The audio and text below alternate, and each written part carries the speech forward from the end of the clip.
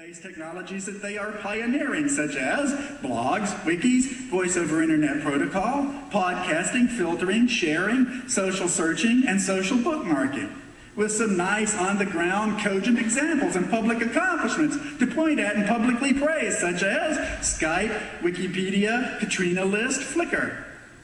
So far, so good. However, there is room for verbal improvement here. Now, if you are a professor of the English language who also happens to be technically aware, such as Alan Liu, oh yes, you can find that Tim O'Reilly sentence to be rather problematic. Why? Because it's not language centric. It's too much of a techie banner ad. It's also too hasty. It is half baked and lacks proper historical seasoning. And it's not social, economic, political, or cultural in its assessments. I will quote Alan Liu, author of The Laws of Cool, from a recent interview he did I am highly skeptical of the Web 2.0 hype. There are two reasons for this. One goes back to the issue of history. Web 2.0 is all about a generational change in the history of the web, but from a perspective that is looking at what is happening right now, as opposed to what was happening during the previous generational change of the 1980s. It is not clear that we can really describe a generational change of this magnitude and complexity while we are in the midst of the change itself, except to say that something is happening that a future generation may decide is qualitatively different. After all, when people speak of Web 2.0, they are actually referring to a swarm of many kinds of new technologies and developments that are not all necessarily proceeding in the same direction. For example, toward decentralization, open content creation and editing, web as service, AJAX, etc. Okay, I think Professor Liu has a point here. A wagon train of pioneers on the electronic frontier, they are not the same thing as a town. And Alan Liu goes on about the serious semantic problems of simply not knowing yet what we are talking about and even tripping up on some obvious philosophical contradictions. He says, it is not at all certain, for example, that open content platforms in the style of blogs, wikis, and content management systems with the philosophy of decentralized or distributed control. Since many such database or XML driven technologies require a priesthood of back end and middleware coders. That would be you a priesthood of back-end and middleware coders to create the underlying systems and templates for the new, quote, open, unquote, communications. Just how many people in the world, that would be you, just how many people in the world, for example, can make one of the current generation of open source content management systems, which often start out as blog engines, and make them do anything that isn't on the model of post or category or chronological posting? Even the more trivial exercise of reskinning such systems with a fresh template requires a level of CSS knowledge that is not natural to the user base. so what is Professor Liu trying to say here? Not particularly clearly. Basically, he's saying that in the guise of empowering users through all this participatory foo-for-ah, Web 2.0 is actually a ploy to return the internet's technical power to the specialized geek clique that originally built Web 1.0.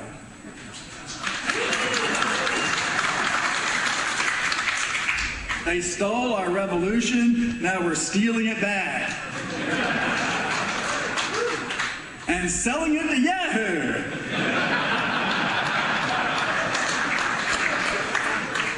and Alan Liu has even more to complain about. My second reason for being skeptical about Web 2.0, at least the hype about it, is more important. I think that people who make a big deal out of Web 2.0 are trying to take a shortcut to get out of needing to understand the real generational changes that are happening in the background that underlie any change in the web. Those changes occur in social, economic, political, and cultural institutions. Web 2.0 is just a high-tech set of Waldo gloves or remote manipulators that tries to tap into the underlying social and cultural changes but really requires the complement of disciplined sociological, communicational, cognitive, visual, textual, and other kinds of study that can get us closer to the actual phenomena. I don't think there are many developers of Web 2.0 technologies, that would be you, who have done the hard social and cultural studies to help them think about what they are developing. They make a neat system or interface that only taps into some aspects of the social scene. Then, if there are a lot of hits or users, their system is said to be a paradigm. But it's hit or miss. There is no assurance that such technologies are the real best, coolest, or even the most useful face or book or space of people. Only that they are the face, book, or space allowed to surface through a particular lash up of technologies. Now, I have my differences with Alan Liu, just like I do with Adam Greenfield. Because I'm a big cyberpunk postmodernist cynic, I don't think there ever comes any time we get a full social, economic, political, and cultural assessment of a technology. The telegraph is dead. You can't send a telegram in the United States anymore, but the historical jury is still out on what telegraphs and telegrams really did to us. One of the best books we have on this subject is a book called The Victorian Internet, which just gives up and tries to recast that historical experience with the words we're using now. I do, however, entirely agree with Alan Liu that Web 2.0 is a lash up of technologies that is made in a big hurry by catch as catch can hacker types. That might even be considered its virtue. The deeper problem is that language is a lash up, too. We don't get some red hot tech lab separated from a cool and contemplative ivory tower where we get to make permanent historical judgments. We're lucky nowadays just to get theory objects, which are electronic lash-ups of data, ideas, and weird riffing. A theory object is kind of hat for English majors.